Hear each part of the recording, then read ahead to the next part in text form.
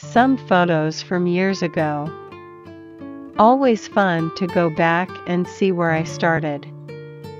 From not lifting to competing three shows. Hitting a flex from both sides, just training to look like badass anime character.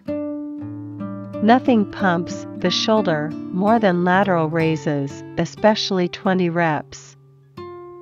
When people think or say I am cool, I am just gonna show them that you win some, you lose some. Surpass your limits right here, right now.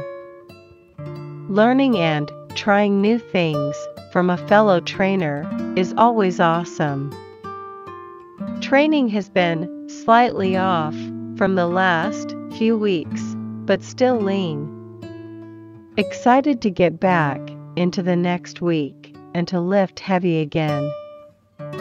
Getting ready to train today, you too can become a hero. Man, it feels good to be back in the gym. Can't wait to get the gains and strengths back. Push yourself harder, you are your only limit.